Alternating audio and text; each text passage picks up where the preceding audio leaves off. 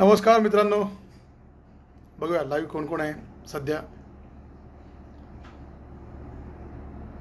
Actually दहा वाजताच live येणार होतो. मात्र ए बी पी माझावरती सावरकरांविषयी विषय चालू होता. आणि प्रसन्न जोशी आज कधी नव्हे तर जरा माफीच्या मूडमध्ये दिसला. तरी पण त्यांनी म्हणजे अडेल तट्टूपणा सोडलेला नाही आहे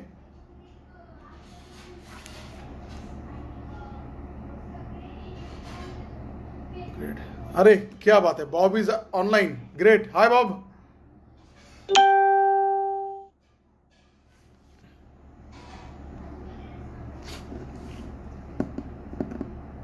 so विषयाला आपण सुरू करूया. म्हणजे आजचा विषय जो आहे थोडं मी वाचत असताना हाय रोमेश एक पाच सहा लोक आले की मग मी कारण मला आजचा जो विषय काढायचा आहे यामध्ये तुमचा सहभाग फार अपेक्षित आहे. सो आपण अजून एक चार पाच जण आले की वाढ बघूया.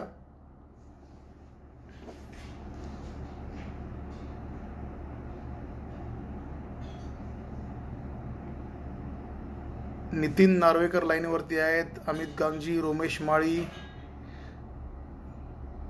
आमच्या मॅडम लाईनवरती आहेत. क्या बात महबूब भाई पण लाईनवरती आहेत. सगळ्यांना हाय हॅलो करू.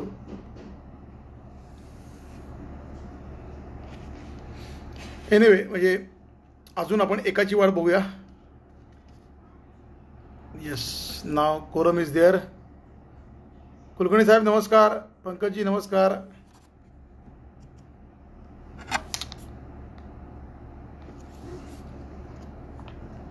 सो आजचा जो विषय मी मांडला होता की भारतीय जो इतिहास आहे आपल्या इतिहासाचा ब्रिटिश लोकांनी आणि त्यानंतर म्हणजे गोऱ्या इंग्रजांनी गोऱ्या साहेबांनी आणि काळ्या साहेबांनी काळा साहेब म्हणजे आपला काँग्रेस सरकार आणि त्यांचे साथीदार वामपंथी लोक कम्युनिस्ट लोक यांनी जो मोठा विचका करून ठेवलेला आहे आणि ज्याबद्दल बहुतांश नागरिक हे अनभिन्न आहेत याबद्दल मी म्हणलं थोडं आपलं मत मांडावं.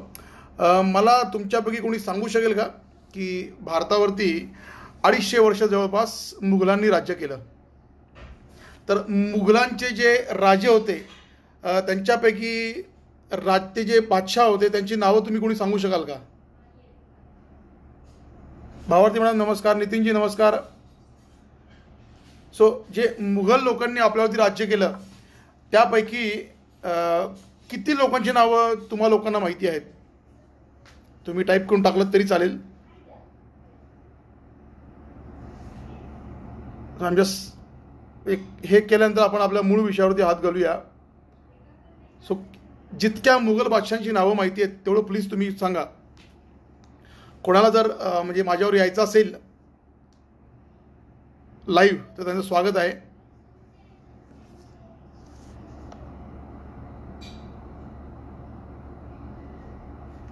अरे वा वा वा क्या बात आहे.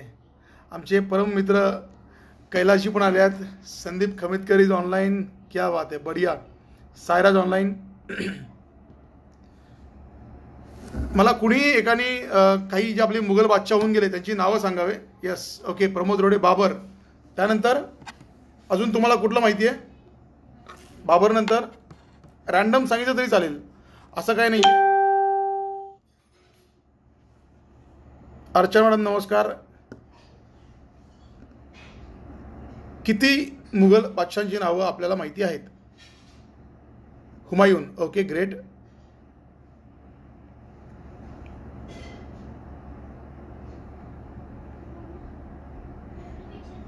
त्यानंतर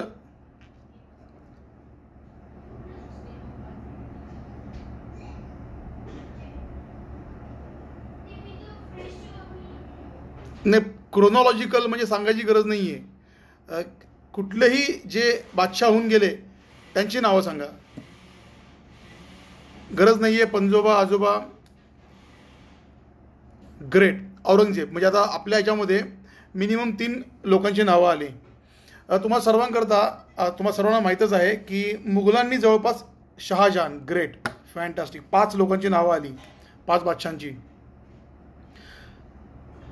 सो कुलकर्णी साहेब नमस्कार. सो पाच मुघल बादशाह ज्यांनी आपल्यावरती राज्य केलं त्यांची नावं आपल्याला आलेली आहेत. सायराज हाय. यस औरंग्या.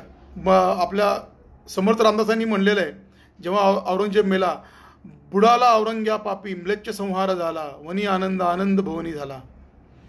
सो आता मी प्रश्न विचारतो की फक्त अडीचशे वर्ष आपल्याकडे मुघलांची सत्ता होती.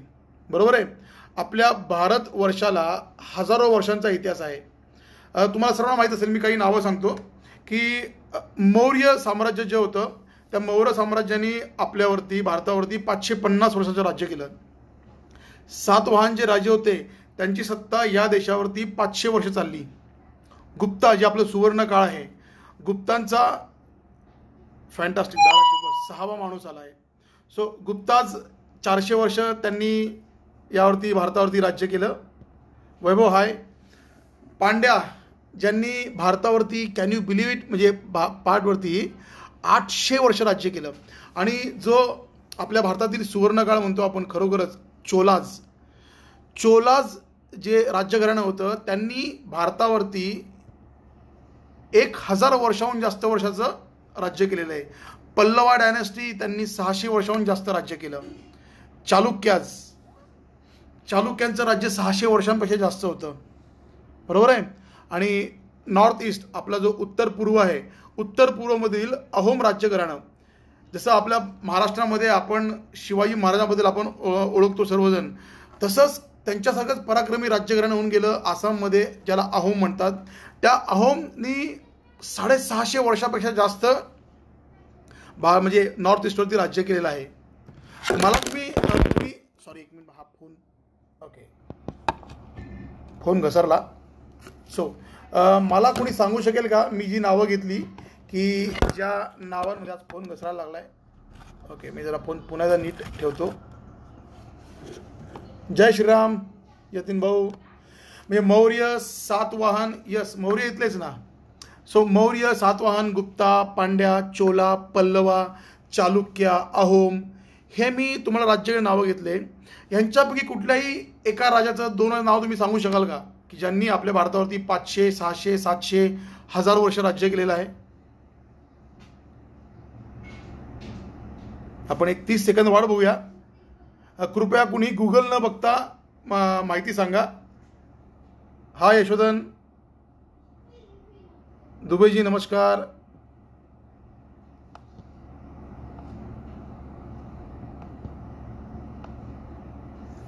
सो मी पुन्हा रिपीट करतो. मौर्य सातवाहन गुप्ता पांड्या चोलाज पल्लवाज चालुक्या त्याच्यानंतर अहोम.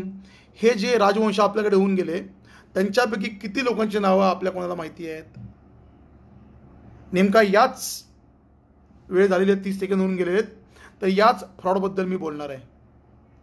सी आत्ता मी जी नावं घेतली त्यापैकी म्हणजे नव्याण्णव टक्के लोकांना ह्या राजवंशांची नावे माहीत नाहीत.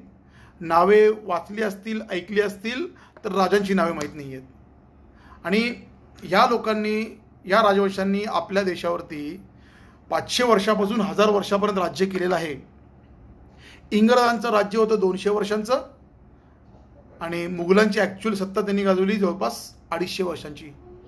सो मला सांगा की आपल्याला मुघलांच्या म्हणजे पार तो बाबर हुमायून जहांगीर शहाजहान औरंगजेब दाराशुकह या सगळ्या लोकांची नावं माहिती आहेत. अगदी शेवटचा बहादूर खान जफर बहादूर शाह जफर ह्याचं पण नाव माहिती आहे. कौशिक हॅलो मग मला सांगा की ज्यांच्या कालखंडामध्ये आपल्यावरती सुवर्ण काळ होता हे श- शालिवान हे शक झाला शालिवान हे एक राजाचं नाव म्हणतोय मी. एक नाव आलं मौर्यांचं चंद्रगुप्त ज्यांनी स्थापन केलं. त्यांची नावं आपल्याला माहीतच नाही आहेत त्यांनी काय केलं? आपल्या भारताच्या प्रगतीमध्ये त्यांचं काय योगदान होतं? ह्या सर्व गोष्टीबद्दल आपल्याला या सरकारांनी जाणीवपूर्वक अनभिन्न ठेवलेलं आहे. याचं कारण काय?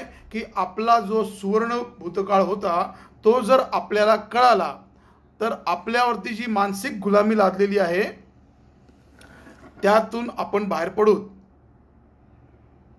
आपल्याला माहीतच नाही आहे की आपल्या दक्षिणेला जे चोल राजे होते आपण भारतावरती इंग्रजांनी आक्रमण केलं मुघलांनी आक्रमण केलं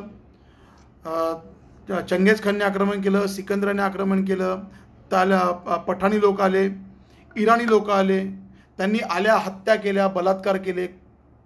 इथले बायकांना विकलं गुलाम म्हणून आणि मंदिरं लुटली मंदिरं फोडली आणि त्याची संपत्ती घेऊन ते बाहेर गेले. पण तुम्हाला माहिती आहे की आपण पण भारताच्या हद्दीबाहेर गेलो होतो चोल राजे. चोल राजांचं आरमार हे जगातलं सगळ्यात मोठं आरमार होतं. आणि ज्याला आपण बृहत भारत म्हणतो की ज्यामध्ये आपण रामायण काळामध्ये लव आणि कुश म्हणतो. ते लव म्हणजे लाओस. आणि कुश म्हणजे कंबोडिया. इंडो चायना म्हणजे फिलिपिन्स. ब्रह्मदेश. इंडोनेशिया. हे सर्व देश जे होते हे आपल्या राजांनी प्रेमाने जिंकले कसे तर आपल्या वेदामध्ये सर्वात मुख्य वाक्य आहे कृणंतो विश्वमार्यम. म्हणजे आम्ही विश्वाला आर्य करून सोडू. त्यांनी त्या ठिकाणी गेले त्या ठिकाणच्या लोकांना जे तिथं संस्कृतीने त्यांना संस्कृती दिली ह्याबद्दल आपल्याला शिकवलं का जात नाही? वाय हा प्रश्न यस कुलकर्णी साहेब तुम्ही म्हणता बरोबर आहे. चोल वंश. बघा मला आठवतं म्हणजे आपण जेव्हा सहावीला होतो आपल्या काळामध्ये म्हणजे आजपासून एक पंच तीस एक वर्षापूर्वी तर त्यावेळी आपल्याला सहावीला असताना ह्या काही राजवंशांची माहिती होती. फक्त त्यांना माहिती होती. पण सातवीच्या पुस्तकामध्ये आपल्याला जे काही शिकवलं गेलं हे पानाच्या पानं मुघलांबद्दल माहिती भरली होती. शिवाजी महाराजांबद्दल फक्त चार ओळीमध्ये त्यांनी संपवून टाकलं. हा जो अजेंडा आहे अविनाश हॅलो विजयजी नमस्कार. हा जो अजेंडा आहे हा मुद्दाम कम्युनिस्ट मार्क्सिस्ट आपण जी लोक आहेत आणि ब्रिटिश लोक मेकॉले यांनी मुद्दामून भारताविरोधामध्ये हा अजेंडा राबवला. आणि आपला जो भूतकाळ आहे हा आपल्यापासून लपवून ठेवला.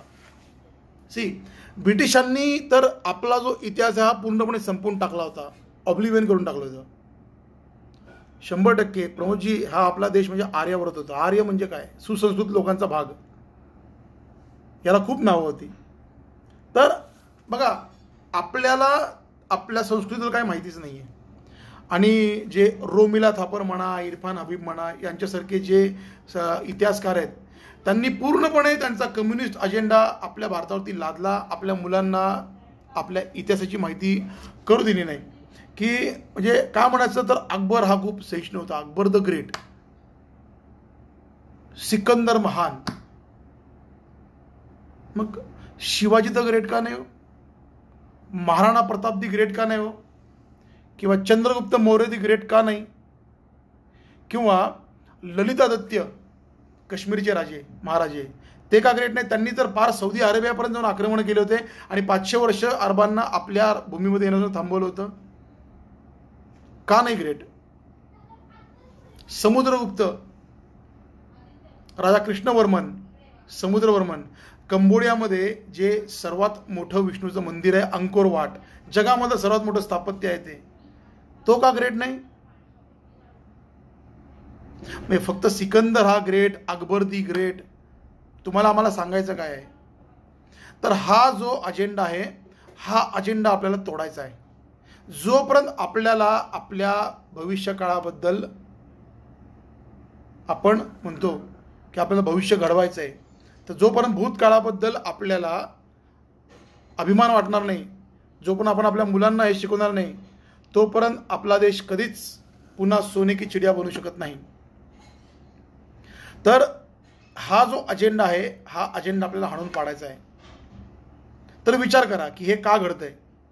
आणि हाच माझा आजचा विषय होता की आपल्याला मुघल माहिती आहेत आपल्याला इंग्रज माहिती आहेत पण आपल्याला शिवाजी महाराज पूर्ण माहीत नाही आहेत आपल्याला चोल राजे माहीत नाही आहेत पांडव माहीत नाही आहेत गुप्ता कालखंड माहीत नाही आहे मौर्य कालखंड माहीत नाही आहे अहोम माहीत नाही आहेत याबद्दल माहिती करून घ्या. माहिती करून घ्या दुसऱ्यांना माहिती द्या आणि सर्व लोकांना शिक्षित करून सोडा. जेणेकरून आपण आपल्या गरिमापूर्ण भूतकाळापासून प्रेरणा घेऊन आपलं उज्ज्वल भविष्य आपण घडवत विचार करा मित्रांनो डोक्याला खाद्य द्या. तुम्हा सर्वांचे आभार. जय हिंद जय महाराष्ट्र. राम राम जोशीजी. पुन्हा भेटूया आपण. असंच उद्या परवा जसा विषय मिळेल त्याप्रमाणे. पुन्हा एकदा जय हिंद जय महाराष्ट्र.